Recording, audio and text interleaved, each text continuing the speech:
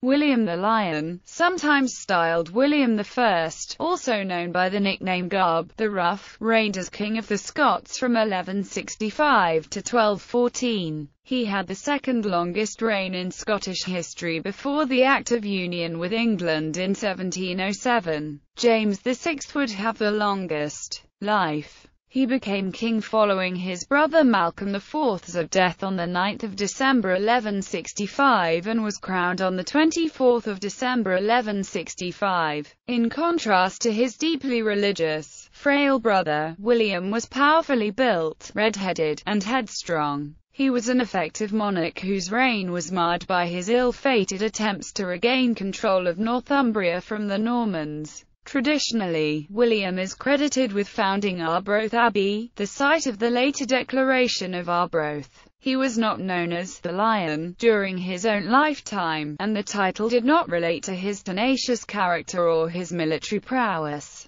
It was attached to him because of his flag or standard, a red lion rampant with a forked tail on a yellow background. This went on to become the royal standard of Scotland, still used today but courted with those of England and of Ireland. It became attached to him because the chronicler John of the Fordun called him the Lion of Justice. William was grandson of David I of Scotland. He also inherited the title of Earl of Northumbria in 1152 from his father, Henry of Scotland. However he had to give up this title to King Henry II of England in 1157. This caused trouble after William became king, since he spent a lot of effort trying to regain Northumbria. William was a key player in the revolt of 1173 to 1174 against Henry II. In 1174, at the Battle of Alnwick, during a raid in support of the revolt, William recklessly charged the English troops himself, shouting, Now we shall see which of us are good knights. He was unhorsed and captured by Henry's troops led by Ranulf de Glanville and taken in chains to Newcastle, then Northampton, and then transferred to Falaise in Normandy. Henry then sent an army to Scotland and occupied it as ransom and to regain his kingdom. William had to acknowledge Henry as his feudal superior and agree to pay for the cost of the English army's occupation of Scotland by taxing the Scots.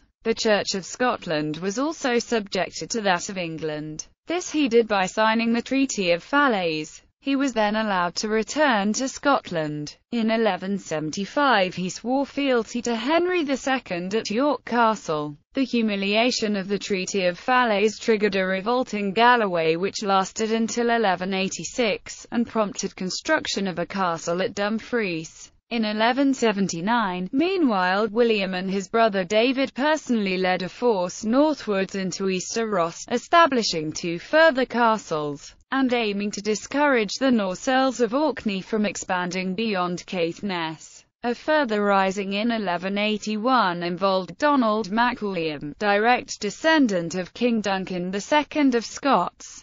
Donald briefly took over Ross, not until his death was William able to reclaim Donald's stronghold of Inverness. Further royal expeditions were required in 1197 and 1202 to fully neutralize the Orcadian threat. The Treaty of Falaise remained in force for the next 15 years. Then Richard the Lionheart, King of England, needing money to take part in the Third Crusade, agreed to terminate it in return for 10,000 silver marks. On 5 December 1189, William attempted to purchase Northumbria from Richard in 1194, as he had a strong claim over it. However, his offer of 15,000 marks was rejected due to wanting the castles within the lands, which Richard was not willing to give. Despite the Scots regaining their independence, Anglo-Scottish relations remained tense during the first decade of the 13th century. In August 1209 King John decided to flex the English muscles by marching a large army to Norham, in order to exploit the flagging leadership of the aging Scottish monarch, as well as promising a large sum of money. The ailing William agreed to his elder daughters marrying English nobles and, when the treaty was renewed in 1212, John apparently gained the hand of William's only surviving legitimate son, and heir, Alexander. For his eldest daughter, Joan, Despite continued dependence on English goodwill, William's reign showed much achievement.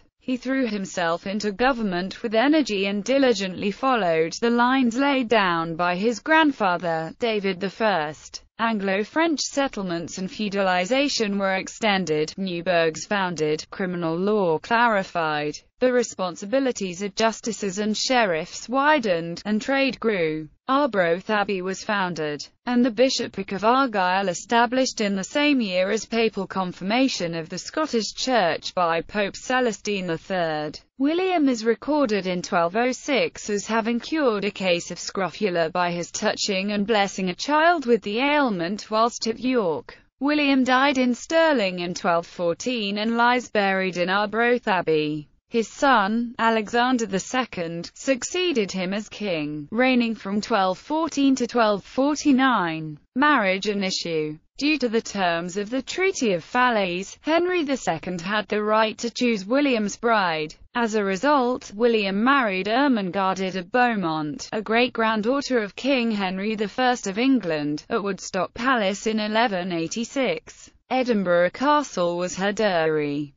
The marriage was not very successful, and it was many years before she bore him an heir. William and Ermengarde's children were Margaret, married Hubert de Burgh, 1st Earl of Kent, Isabel, married Roger Bigod, 4th Earl of Norfolk and Robert, of Ferfan, de Ros, Sir Knight and had issue. Alexander II of Scotland. Marjorie, married Gilbert Marshall, 4th Earl of Pembroke. Out of wedlock, William I had numerous children, the descendants being among those who would lay claim to the Scottish crown, by an unnamed daughter of Adam de Hythus. Margaret, married Eustace de Vesci Lord of Alnwick, by Isabel d'Avenel, Robert de London, Henry de Golightly, father of Patrick Golightly one of the competitors to the crown in 1291. Ada Fitzwilliam, married Patrick I, Earl of Dunbar. Alfrica, married William de Say, and whose grandson Roger de Mandeville was one of the competitors to the crown in 1291. Isabella MacWilliam married Robert III de Bruce then Robert Ferfan de Ros, Magna Carta surety. Fictional portrayals William I has been depicted in a historical fantasy novel, An Earthly Knight by Janet McNaughton. The novel is set in the year 1162. William, a younger brother and heir to Malcolm IV of Scotland, is betrothed to Lady Jeanette Jenny Avenel. She is the second daughter of a Norman nobleman and the marriage politically advances her family but she is romantically interested in Tamlin, a man enchanted by the Fairy Queen. Ancestry